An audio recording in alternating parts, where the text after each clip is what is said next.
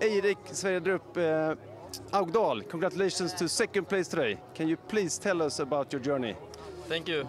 Uh, yeah, in the first uh, climb we had a, a gap, uh, Bruwall and me, and we uh, didn't manage to hold on to that uh, gap. And then uh, I had a crash with uh, Musgrave, about 6k to go, and then I was all alone uh, to the finish. But I think uh, Nyang was the strongest today, so uh, yeah, very happy.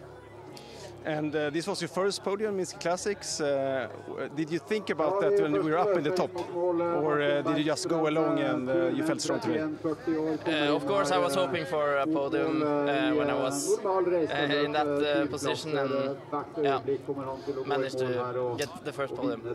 And the last two days it was been snow snowing a lot. Was it hard to prepare for this race? I think it suits me quite well with a lot of snow yesterday, so I didn't think uh, much of it.